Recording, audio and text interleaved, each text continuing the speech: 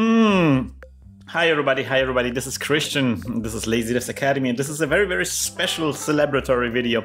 Today uh, we are going to celebrate, I'm going to celebrate 14,000 subscribers. We're above 14,000 subscribers, 14,400, 600, some, something along these lines um, is the number that we reached. And I'm very happy about that. That was kind of like a milestone for 2023, and I'm happy that we achieved this. The reason why 14,000 subscribers is that uh, previously, I was uh, working on a channel called um, Teamwork Cast, and that is the channel that uh, we started uh, the breakout tutorial on, and that channel had around 14,400 subscribers. Um, I'm kind of stopped working on that. We kind of like disbanded a little bit. Um, but it's nice that this new channel that, that I created uh, now has more subscribers than that previous channel. So that, that feels very satisfying and good, and I'm happy about that. Yes, so um, today we're going to answer some of your questions. You sent me some beautiful questions, and I want to answer them. But maybe I want to start with something else. So one of the things that I recently did is like a hardware review video of the RGB 30 uh, from Powkiddy, this thing here. And I uh, during that, during the recording of, of that video, I had to like get out all of the hardware that I had in my drawer and I want to give you maybe like a long-term impressions of the other things that I have. Some of these things I already reviewed. Some of these things just came up in the videos and, you know, kind of like a drive-by fashion. Um, so let me just give you an overview of the kind of stuff that I have here. Obviously, we have to talk about the Pocket Chip, uh, a really, really cool device. That's the kind of the thing that started out my uh, passion with Pico 8.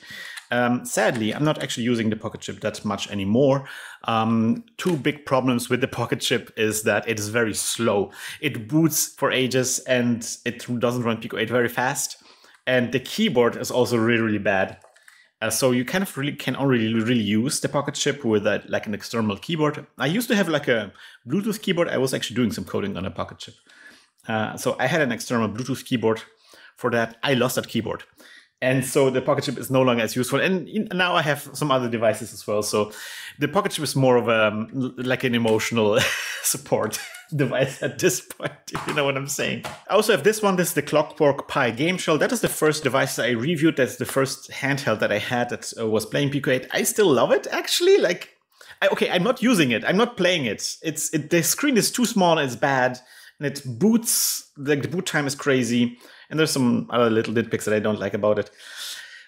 But every time I get it out for one of the videos, I realize how how how nice it feels. Like it's very sturdy. And the plastic is really nice to like. It has a really nice feel. I, I would love Clockwork Pi to just bring out an updated version of that, just like a really nice big screen, same build quality, maybe something that boots faster.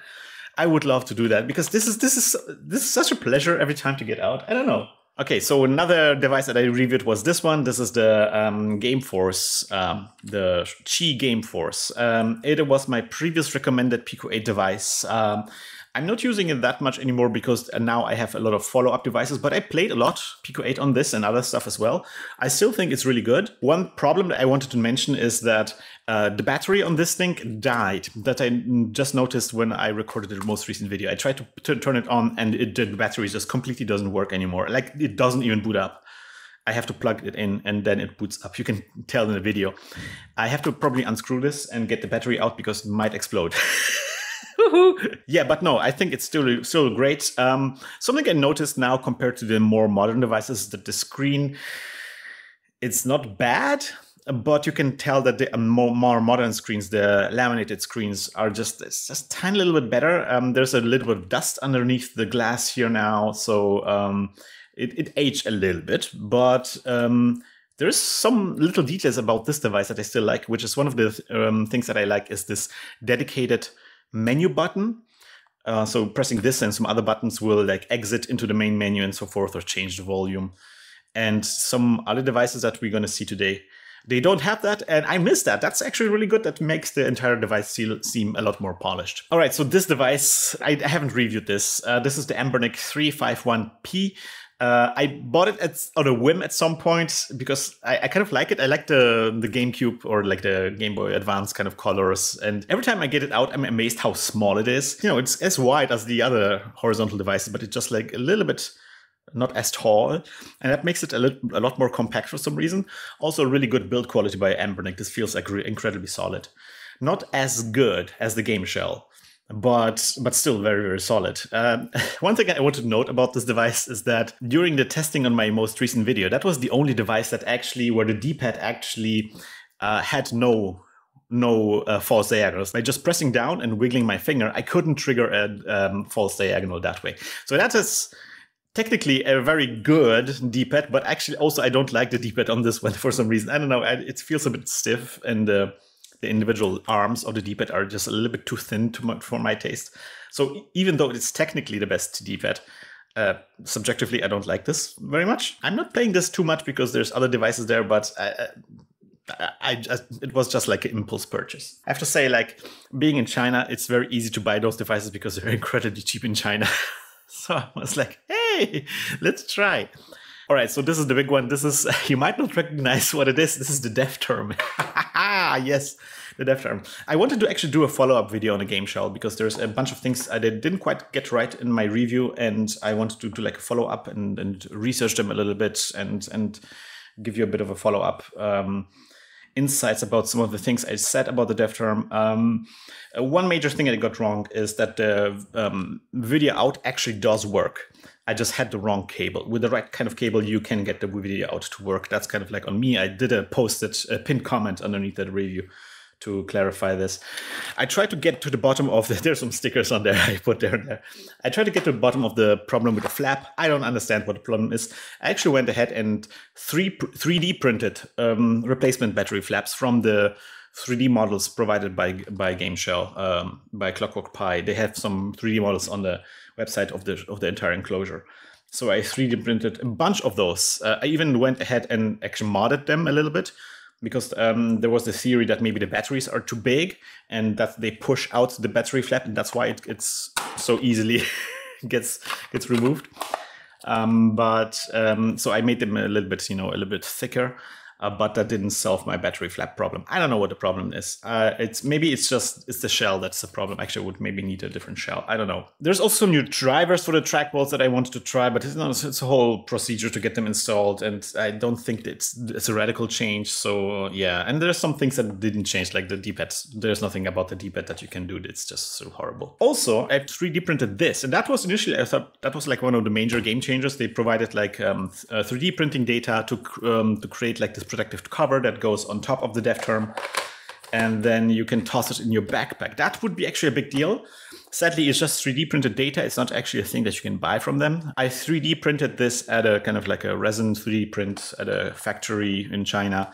And um, hmm, the problem with 3D printing is at the beginning, it was really great but then it the 3D prints like the the cover kind of like became loose a little bit, and so now now it's just like on there. It's just it just falls off without me having to do anything. It's, there's also a crack in there as well, and it got old got old yellow. It was white, like the translucent white at the beginning, but now it's all yellowish, so it doesn't look as nice anymore. So I did research some of the things about about my review, but they were quite often turned out to be a dead end, and I don't know. Um, and now there's like a new console by the Clockwork Pi uh, Uh, the uConsole, which I'm actually more interested in discussing. Maybe I will do like a little side note when I get to play around with the uConsole. But no, still, this is my Linux machine now.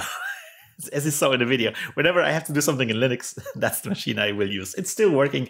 I really love that it has the replaceable batteries. That makes it really easy to just put it in storage and don't care about the batteries leaking or something like this. Now, this is one of the devices that I did not discuss. Uh, it comes up in the videos. it's the Anbernic 351V. And this one has. Um, this was like a spontaneous purchase at like like literally one week or two weeks before we left China. I wanted to take advantage of the fact that we still can get those devices very cheaply and I wanted to just have maybe something as an, a slightly upgraded Game Force because it's essentially the Game Force. It's the same hardware as Game Force, same resolution screen, the same chip, and so forth. Uh, the screen is just a little bit nicer because it's a laminated screen. So it's a little bit nicer, different form factor, obviously, and the wooden the wooden texture is is mm, that's the that's the that's a that's the thing that pushed me over the edge because it's just so such a such a weird looking device. It's like a wooden Game Boy. I love it. I did play it a little bit. The problem I have with this one compared to the Game Force is that it doesn't have like a dedicated menu button. You everything you do is you do with select and another button, and that sometimes triggers something in the game. There is a dedicated button in the center here, but for some reason that's not being used by the OS. I don't know what's happening there. Uh, it's, just the Game Force just feels a little bit more polished in its usability in the way the OS is integrated with the hardware. Mm, but this is definitely better build quality, I would say. Now, the Miyoo Mini, I talked a lot about the Miyoo Mini, not not the great greatest device to play 8 on, but for everything else, it's great. It used to be a device that, it still is a device that basically lives in my backpack. It, I just put it in there, and whenever I accidentally get into a situation where I get bored, I can always whip this out and play this. I played a bunch of stuff on this. I actually played through Super Mario World on this, like completely 100% Super Mario World, like with all the special stages and so forth. So yeah, that was really good. I still use it and I will continue using it until this dies. And yeah, the RGB30 now becomes my go-to uh, Pico 8 device. I still want to keep the Game Force running. I want to replace the batteries on that one. Uh, something I also showed in the video that is not Pico 8 related. So this is a heavily modded Game Boy Advance. It's an original Game Boy Advance with a new shell, new buttons, and a new screen. Uh, and it has been provided like I bought it from um, a place called Digital Gaming Heaven, which is a place in the UK, a shop in UK that uh, sells these. The cool thing about this, it has an HDMI out, um, so you can play, you can technically use it as a kind of like a switch. It has a docking station even, so you can put it in a docking station and play it on a TV. You can put in a uh, Super Nintendo controller to docking station and play it like that. I used this for speedrunning for a little bit. Uh, I will say the video out on this one is not as great. It, it's only like a 480p video out on the website. It says 720p, but it's only 480, and that doesn't work really well with scaling on modern TVs. So uh, in the end, you know, the video out wasn't that important, but it's still really good to play some old um, Game Boy games because if you know, the original screen of the GBA is is horrible, and uh, so that's you know that upgrade upgrading the screen to be like a more modern, brighter screen is really a big deal. And I want to also maybe give you like a tease of another device that I wanted to review, but I never did. And I don't know if I'm going to ever review it, but there is this thing here called the Minbay. I wanted to review this because they did an advertisement for this, and it actually, the advertisement had Pico 8 in it. Um, so the Minbay is kind of like a um, little iPad kind of device where you can do pixel art on it. Uh, which is a great idea, let down by the fact that the touchscreen is horrible it's very imprecise. You can't hit the pixels that you want. And also the colors are hardwired. You cannot change the color palette. And the color palette it ships with is atrocious. it's really bad. The colors are bad. Like I can do more with the 16 colors of Pico 8 than with these 128 colors. So I probably, I'm not sure if I'm going to do a re- review of this. Maybe at some point in the future, but uh, now I've kind of like lost my, my will to, to do a review of this because it's just bad. Let us discuss some of the questions. You sent me some amazing questions. I wanted to answer them. I'm not sure if I'm going to get through all of them today, but I'm going to try. Um, so, uh, Triangle asked, or Tringle, Tringle asked, how do you start off? Uh, did you start off programming, and why did you stick with Pico 8 specifically? And there's some other people that ask similar questions. Luffy Games also asked, um, why do you use Pico 8 and what career do you study? Tom asked, how did you get into Pico 8 and what's some other coding things that you've done? RetroPixie also asked, I would uh, like to know some uh, of your more of your past as a game dev. When did you start? Why, which which game engine or what made you switch to Pico 8? Um, so in programming languages, when I was a kid in school, I started out with BASIC on the Atari 130XE. I graduated in high school to Visual Basic on Windows 95, I guess. Uh, and that was amazing because Visual Basic allowed you to just create like actual Windows applications, which was pretty felt I felt pretty powerful. And I did some games on this as well. Um, then uh, during studies, I kind of like did a lot of Flash stuff uh, because web development was a big deal, um, and also Flash taught me a lot about motion design and so forth. Um, and then afterwards, I basically went to Pico 8. I did some I dabble a little bit in Unity. Um, I did some a little bit game maker. Uh, also, I learned um, processing as well because I'm teaching a processing course. I studied uh, design, just design here on in uh, in Cologne at a place called uh, Köln International School of Design. And next question by Otto M. Mushman. What games have influenced your opinions on game development and game design at most? Oh man, that's a that's a tricky question. Um, I'm uh, like every because every game I play, I get something out of it. So it's kind of difficult to to like single out one game, you know. Um, I would say that maybe uh, if there is one that I would like to, like, I find myself returning to over and over again, that would be probably Into the Breach, because it has some, it does some really radical things about that specific genre. And I'm thinking a lot about strategy games and so forth. I like to play strategy games. And Into the Breach um, kind of like do, did some radical design choices in that space, such as, for example, it's a um, strategy game, like a tactics game that doesn't have any random number generation. And that to me, that's wow, that's important. Um, it also introduced like this thing that you get uh, became kind of like a design trend now that you can see a preview what's going to happen. So re- you're reacting to the future. I think that's a big deal. Uh, and it also like it has this one thing where it has run random number generation, but only if you get hit. It's it's complicated. It's like very specific moment where you're about to die. There's a chance that you won't die and uh, I think that's smart. Again, that's smart in a game that is completely deterministic, um, because uh, if it's completely de- deterministic, then you might be in a situation where that is completely unwinnable. And then if you know that you're not that you're going to die, then you might not play out the game to the end. But if there is one non-deterministic aspect of it, you might survive. Then you might uh, play the odds. I like it. I think about it a lot. I might uh, do a video about this because I have lots of thoughts about this specific game. Um, also, some other things that some other games that really capture my imaginations are the games, the board games. Mm, the board games by a guy called Cole Wehrle. So um, games like Root, Oath, uh, John Company, and Pax Pamir. These are games that I'm really enjoying. I think uh, Cole Wehrle is a fantastic board game designer, and I'm still wrapping my head around a lot of the decisions as he does in board game design. Amazing stuff. Loki Striker asks, "What do you consider your biggest breakthrough during your journey as a game developer? It doesn't have to be the, big, the biggest, but a notable one you recall. This can be also relative to your own journey." Oh, whew. that's that's a tough question. There's lots of things that happened. um, I would say that um, there's a one memorable moment I noticed that I remember very well. Uh, that was shortly before I began my studies when I read a book called uh, Play uh, by Eric Zimmerman and Katie Salen. The Play of Games. Is it the Play of Games? Oh my gosh, what's the name of the book? Rules of Play and then the book is called Rules of Play. I still have it in my um, in my shelf. It's, it's still packaged. I haven't unpacked it yet. Um, but yeah, it's a really great book. I would recommend it. And one thing I, that is amazing about that book is that they, um, I, when I was reading it, I noticed they they, they were um, discussing a lot of different games with like this this respect and passion for them, even though the games were sometimes not that great, you know.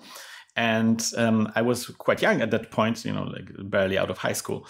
And I was still in this kind of gamer mindset where I was very opinionated about my tastes, you know, like, oh, this is a good game and this is a bad game. Ugh.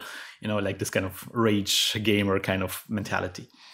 Uh, and so reading somebody uh, speaking in this kind of very respectful tone about games that I would consider inferior uh, really recalibrated my mindset when it comes to what, how you have to think about games when you are a game designer. I think a game designer is somebody who really has a certain passion and appreciation for games, no matter whether they um, appeal to their taste or not. Or maybe to put it different, their taste is a lot more open and more, more inclusive of very different types of games. So it's not about oh this game is great and this game is horrible, but it's more about you know I love games gaming in general. I appreciate all types of play, and instead of rationalizing why this is good and why this is bad, it's more about what is there about this specific game that people appreciate. You know, understanding create like an empathy for um, people who enjoy things that you might not necessarily enjoy yourself. And having like this kind of very wholesome and like appreciation for gaming and playing in general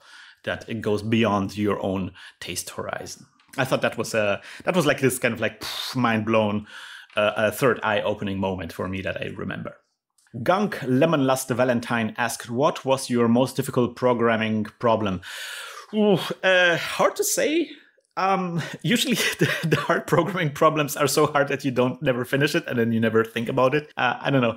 Um, I remember there's one thing I remember from I think I worked on um, Trauma, my the game that I released on Steam back uh, after my studies. I remember there was a specific bug that was really like just just like soul crushing. Uh, because it was almost the game was almost finished. I was kind of like wrapping up, and then I encountered a bug where it was very difficult to reproduce. And one of the reasons why it was difficult to reproduce is that in the development environment, um, I made the game in Flash. Now, when I launched Flash and ran again the game in Flash, it, it ran perfectly well. But then when I exported this to like a standalone version that I would distribute, um, kind of like executable version, that version had some kind of bug and i like i could not reproduce that bug when i when it ran into the debug environment so the game would crash, but if I debug it, the crash wouldn't happen. so it's like, uh, it was very difficult to find out what the problem is. Uh, it turns out at the end that it was a um, timing issue that you know when you run it in debug mode, it the run the game run a little bit slower, so certain events happened in a certain order. But when you exported it, the game ran so much faster, so the events the event order changed and that caused some problems. And i like you there was just no way for me to like it was so hard. It, I, it took a bunch of days and a lot of hair to find that problem. And uh, there was an initial problem that the actual bug even if, when i got down to the problem the actual bug actually didn't happen in my code. It happened in the engine's code. So uh, even when I finally nailed down the problem, I still couldn't see what the problem is because the location at which the problem occurs is not something that is viewable in the editor. and it was like this kind of very cryptic error message. And man, I, I've almost like I felt like the universe is conspiring against me releasing that game. That was that was soul crushing. DJ Clemmer asks, um, your most recent hardware review video is really fun from a production standpoint. And thinking back to everyone's a beginner video, it also felt like you were really able to stretch your legs during that production. The tutorial series are very consistent in their look and feel, which is great for, uh, which is a great feature in itself. A question is, besides the non-tutorial con content itself, do you enjoy non-standard videos where you can stretch your legs creatively, as you've done in the examples listed above? Um, I, I love having made them. I don't quite enjoy making them, I have to say. I mean, I have a need to make them. I, I like the everyone's a beginner video. That was something I really have to get uh, off my chest. Um, uh, the problem I have with them, there's just like two problems. First is like I'm I'm not programming while while making them. I'm not working on on my my games, and um, it's kind of like this conflict where I want to make videos, but I want to make videos that support my work on games. I don't want to make videos as my full time job, you know, as and then nothing else. And uh, yeah, that's quite often in conflict with each other, kind of like the opposite problem that Mark Brown for Game Maker's Toolkit has, where he makes those videos about games, and that's his job, so to speak. But then he had like this project where he made a platformer, right? He made a game. And you you could tell that there, it, there was a conflict there because he had to spend so much time on the game, but then he couldn't make videos, and then he had to make videos about the game, but that also kind of like was eating into the time that he had available for the game and he talks a little bit about this in the videos. Um, and yeah, somebody like Mark Brown probably wants to come out at the end on in favor of making videos. Uh, I want to come out in favor of making games. Uh, and yeah, so like every time I do like a hardware review or like a like a special video, that's always um, at the expense of working on games, and that stresses me out to no end.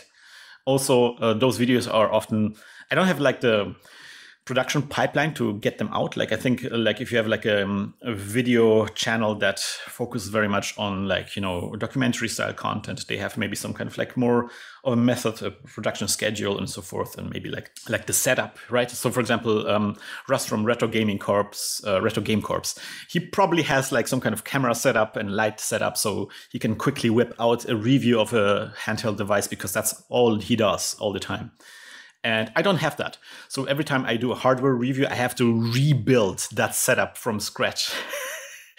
and that just takes time. So yeah, I don't know. I, I come off very negatively. I do like the videos. I will continue making those videos. Don't get me wrong. It's just I'm I, always end up very stressed making those videos somehow. Marina Makes asks the, the Marina Makes asks really amazing questions and, and really like uh, uh, very open questions. What is game development to you? What are games to you? Uh, I mean, game development is like if you're asking for a definition, then game development is making games. That's it. uh, games. What are games? Is is tough. It's a tough question. Um, I think there's a bunch of definitions that I kind of like. Uh, one is that uh, games are basically how people learn. Um, I think there was this, this, definition that I liked. Um, gaming is learning in a safe space or in safe environment. Um, I think that's that's that's a cool definition because games are quite often like these removed uh, things that we do removed from real life, and then we do experiments and uh, practice certain types of thinking in this kind of like removed environment. Doesn't have any repercussions for um, for the rest of our lives uh, unless we set them up to be meaningful. Um, so that's kind of like one cool, interesting definition. Another definition would be kind of like the uh, homo ludens definition kind of thing, where it's like games are kind of like broadly speaking reflect the way people think about the world. We kind of like collapse, like humans try to make sense of the chaotic world around us, and we collapse things into rules and and like goals, like like desires to achieve, desirable things to achieve, and so forth um, our society is uh, governed by rules. Now, we, together, we decided that we, uh, um, you know, act according to these rules, and that's that's what we consider fair, and so forth. Um, for example, uh, economy also works according to certain rules, and uh, there's like values that rise and fall, and so forth. And mathematics is also kind of like a system of rules that, that humans invented. So, like the philosophical insight is that games share a lot of qualities with a lot of things in our life uh, and might be a just a general way in which humans make sense of the world. And not just humans. Like, I mean, there's also animals play too, right? Dogs also play. So maybe not games, but they play, right? So uh, yeah, yeah. Louis Chapman asks, uh, "What are some of your favorite albums?" Now that's a question. Um, I prepared a list. Here are five, five, five albums. Five albums. Uh, Discovery by Daft Punk, The Big Calm by Morcheeba, Details by Frou Frou, the relevant artist is Imogen Heap here. Um, Ghost in a Shell original soundtrack by Yoko Kanno, and This Binary Universe by BT. So all of these are artists that I, I am happy to listen to the entire oeuvre, everything that they ever made is something I would gladly listen to. The albums I just listed there are just my favorite albums of them. But yeah, I loved all those these things. Um, recently, it's kind of like music is a weird spot, right? Because we don't really have albums. We, it's almost impossible to go in. Like I don't know, you don't really go to a store to buy a CD. I don't even have stuff that plays a CD anymore, so it's kind of like not really possible to buy albums. Everything is streaming now. Um, so yeah, if I listen to music uh, during my work, uh, my go-to things are. this is a bit embarrassing. Lo-fi hip hop beats to study to.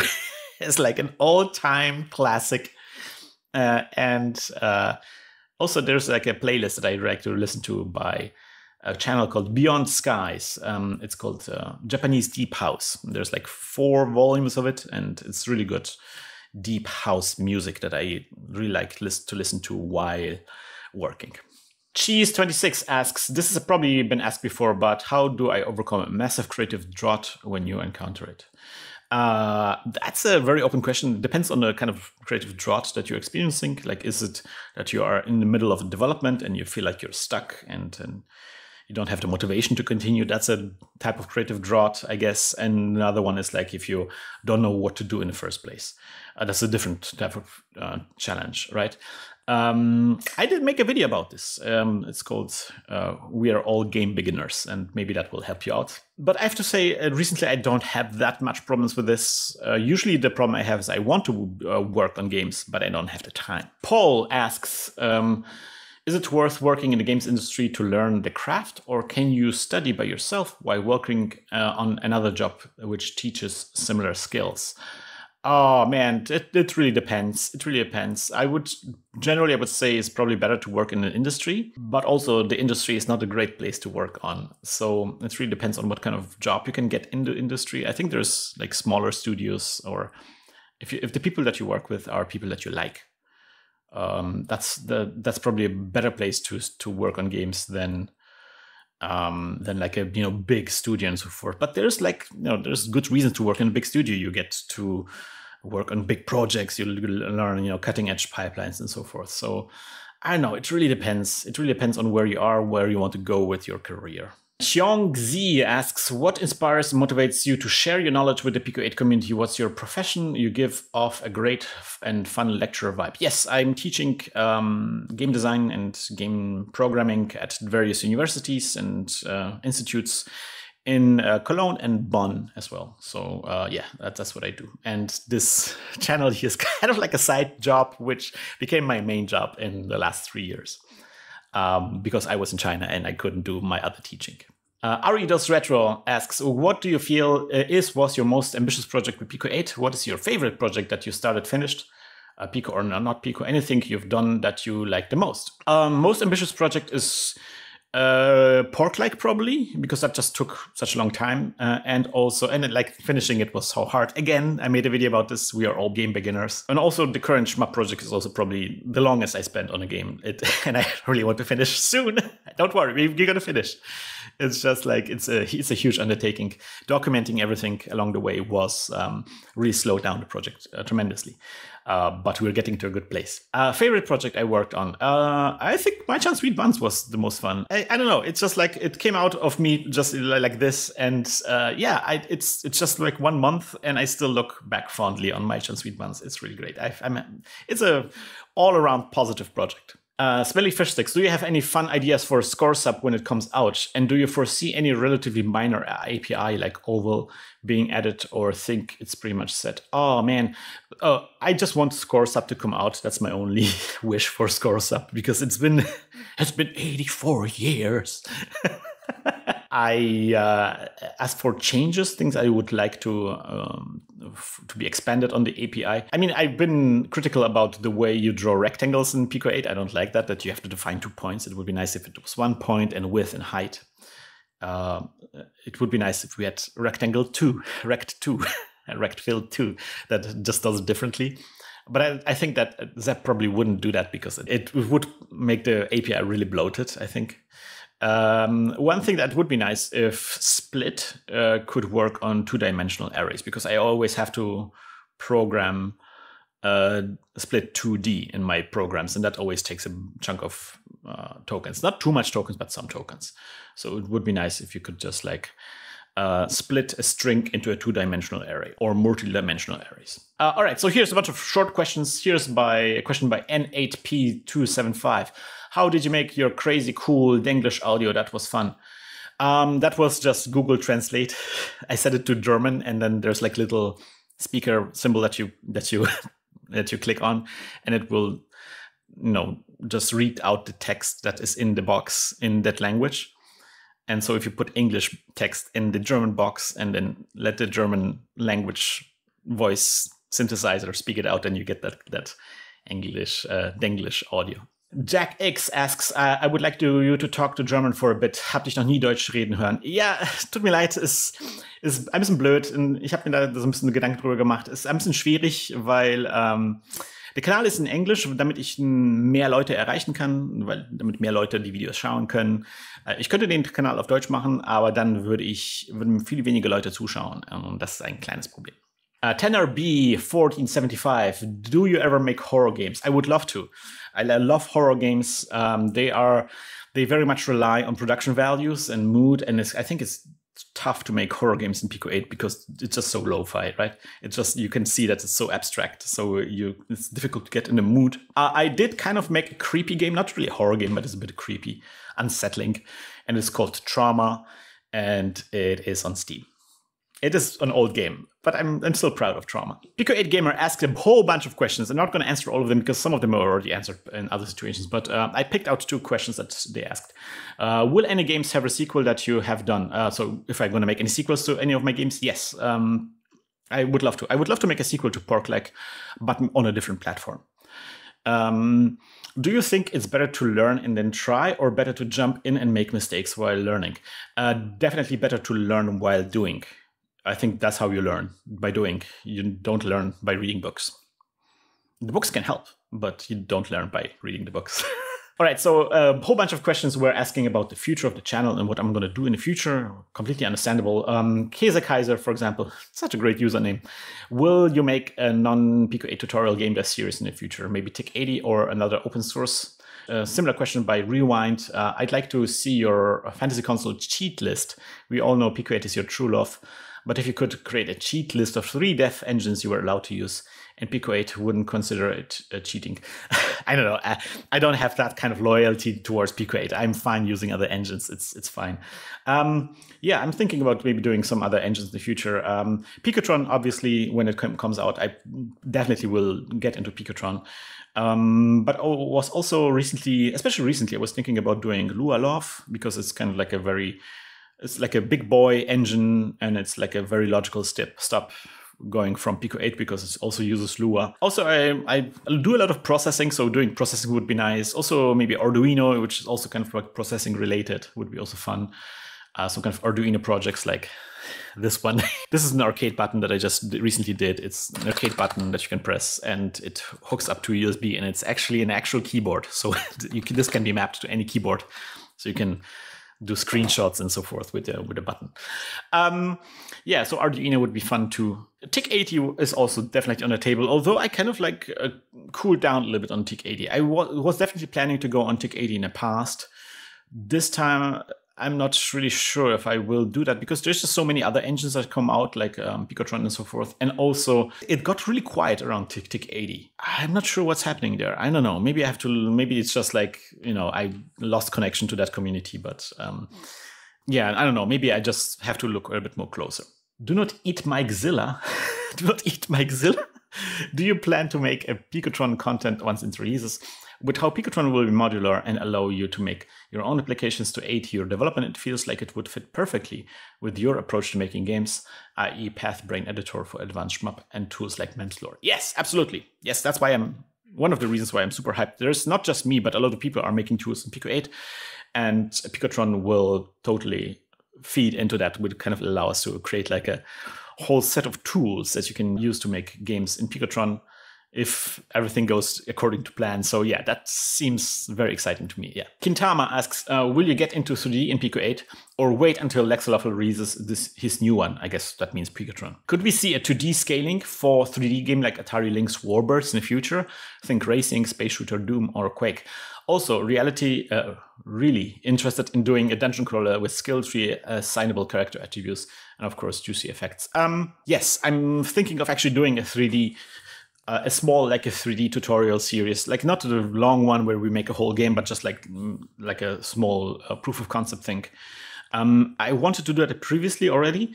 I did like a one day of research, and, and it turns out we weren't there yet. So I wanted to do a Mario Kart, like a Mode Seven kind of plane that you can uh, drive across. Uh, it's back when I tried it. That was shortly after tline came out. And back when I tried it, the map was too small. The pixels would be too big. So it didn't look like Mario Kart. It looked like as if you were, you were driving across like huge rectangles. Or you made the entire level smaller, then you get like reasonable resolution on the on the texture. But then the racing track was too small it wouldn't look like Mario Kart. It would just like be going in a small circle. Um, so I kind of abandoned that that approach. Um, but now we got like the expanded memory space where you can put a bigger map in the expanded memory space.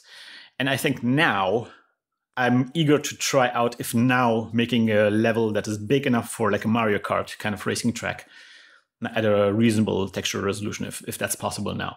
I still need to try it out. And if it works, I would love to make a tutorial about that. Otherwise, I think doing something like uh, Wolfenstein would be also fine. Um, as for doing a dungeon crawler with a skill tree, ah, that's what technically. I mean, Porklike is as far as that will go. I think. I, I think Pico 8 doesn't lend itself to this kind of like uh, feature bloat. I feel because if you have a skill tree, then you also have to make all those skills, and those cost tokens, and those tokens then won't be available to make interesting gameplay. Yeah, I don't I don't think that's a good. And also there's like UI involved because you have to make a UI to do the skill tree. So I don't know. Uh, I feel like there's just not a lot of space to maneuver there for Pico 8. So I probably won't do something like this. Uh, I'd rather focus on something that really plays very well and and expand that as far as I can rather than to have this idea that I have to make a skill tree and then create a game that supports the skill tree, you know. Judge Groovy Man asks running Pico 8 on a bare metal or as close as possible is something I would love to hear more about. I think this is as bare metal as it gets. I would, I would love to for somebody actually to, uh, if somebody knows about Linux and so forth, I would love somebody to make a stripped down operating system that just straight up boots into Pico 8 and has nothing else. that would be so great. I would definitely install it on my RGB30 and not use the RGB30 to play any other games. I would play all the other emulation stuff on on uh, Miyoo Mini probably. Uh, so yeah, I think these emulation handhelds are as close to bare metal as you get with Pico 8. Um, otherwise, I think if you want to get bare metal, uh, you probably want to have Arduino, like the Ar- Arduboy. Arduboy would be also something that I might do a tutorial about, which is like I don't, I have it in my drawer. I didn't get it out. It's a little, little small Game Boy like device that is Arduino based. It has a tiny little uh, black and white uh, OLED screen and you program it in Arduino itself. And it's really nice because it's kind of kind of like um, uh, it feels very Game Boy like.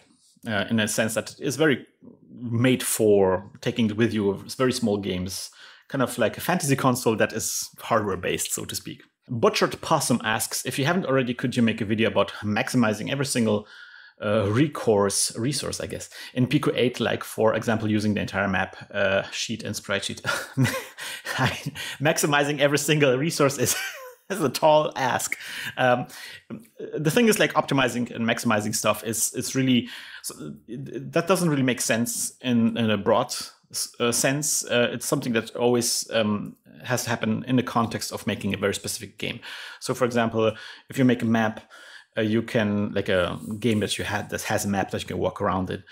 Um, you can get more bang for your buck and if you compress that map somehow and that's and you can make certain assumptions in the gameplay that will allow you to compress the map more um, and that's the kind of optimization that you often do like you have a very specific use case and that use case allows you to optimize things harder, right? Just making broad videos about optimizations, I don't think it's that useful. Although I have to say, I was thinking about maybe doing like a, um, a crash course in uh, uh, token optimization because there are certain op- token optimization techniques that are very common, and just doing like a video that summarizes all of them would be maybe fun.